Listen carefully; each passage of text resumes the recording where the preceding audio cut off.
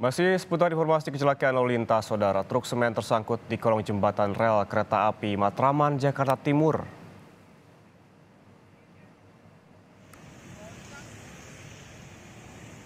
Warga sempat meneriaki pengemudi untuk berhenti, namun truk yang melaju dalam kecepatan tinggi ini akhirnya menabrak kolong jembatan hingga tersangkut. Akibatnya kemacetan panjang kendaraan sempat terjadi lantaran ruas jalan hanya bisa dilalui satu jalur.